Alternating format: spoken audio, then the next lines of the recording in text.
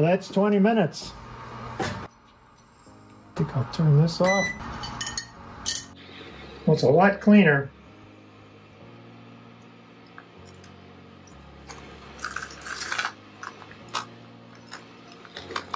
I'd like to see if we could get it even cleaner. I'm going to put it in for another 20 minutes. That's another 20 minutes, so 40 minutes total. Let's see what it looks like now. I spent about five minutes scrubbing it with a rag to get the links dry and to get any more grit off. And it came out really nice. So that's what 40 minutes and the ultrasonic cleaner will